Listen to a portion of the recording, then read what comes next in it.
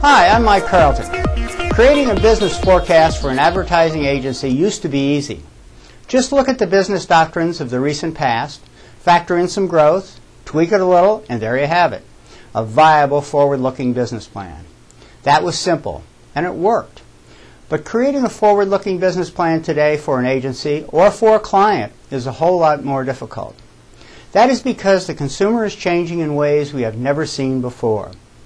Recently, in an interview on NBC, Mike Duke, the new CEO of Walmart, described some big, big changes they are seeing in the shopping behaviors of their 140 million customers. Time magazine calls it the new frugality. Consumer behavior is no longer predictable, and it will impact every marketer and every agency too.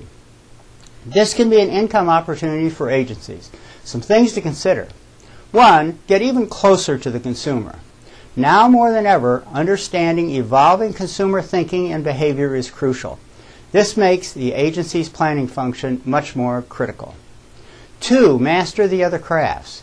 In this new environment, the way in which the consumer is reached and engaged is just as important as the marketer's message. Three, examine your business model. Today's most commonly used agency business model rewards the production of stuff, not strategic leadership. That needs to change. Thus, new business models must be created that reward the agency for economic value of changing consumer behaviors. With consumer behaviors in flux, the need for strategic thinking is greater than ever. Strategic thinking that can and should come from agencies. There's more on this subject on our The Future Isn't What It Used to Be white paper. I'm Mike Carlton, and thanks for watching.